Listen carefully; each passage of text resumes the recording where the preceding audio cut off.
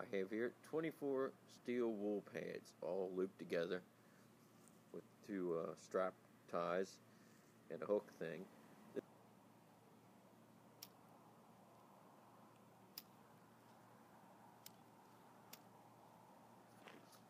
Okay, that's good. Let's start spinning it. It's going to get out of hand real quick. Okay, here we go.